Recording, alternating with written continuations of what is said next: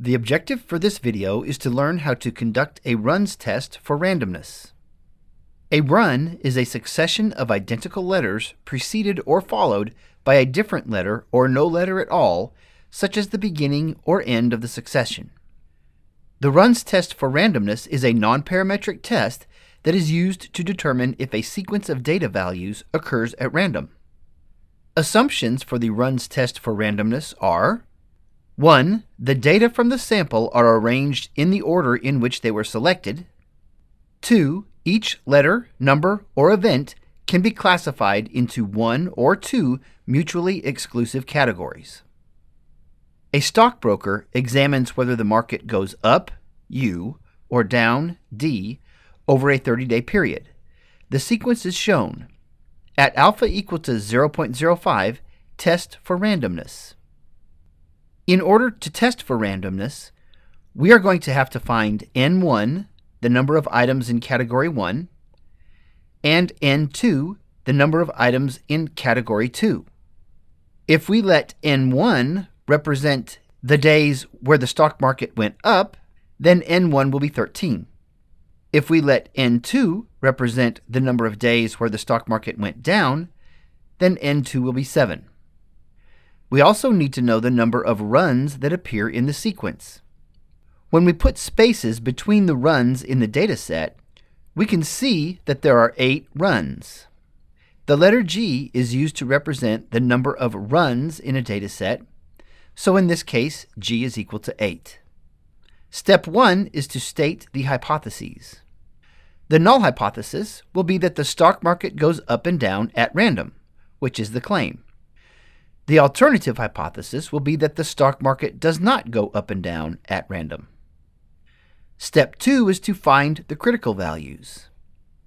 If n1 and n2 are both no more than 20, then we will use the critical values for the number of runs table to find the critical values.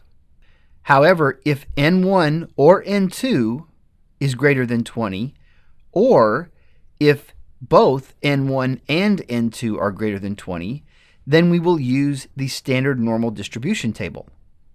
We found n1 to be 13 and n2 to be 7, so we will use the critical values for the number of runs table. This table gives the critical values at alpha equal to 0.05 for a two-tailed test.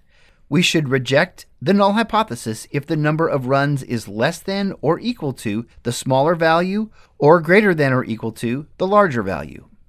The left-hand column gives us the value of n1, so we should find the row where n1 is equal to 13. We should find where that row intersects the column where n2 is equal to 7. The intersection of this row and this column show us that the critical values are 5 and 15. Step 3 is to find the test value.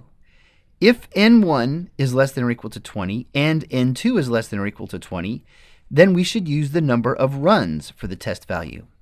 If n1 or n2 is greater than 20, or if n1 and n2 are both greater than 20, we should use the z formula. In this case, n1 and n2 are both less than 20, so we will use the number of runs. We found the number of runs, g, to be equal to 8.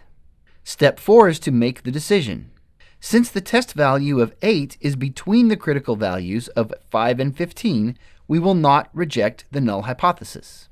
Step 5 is to summarize the results. Since we are not going to reject the null hypothesis, our conclusion should be that there is not sufficient evidence to reject the claim that the stock market goes up and down at random. In this video, we learned how to conduct a runs test for randomness.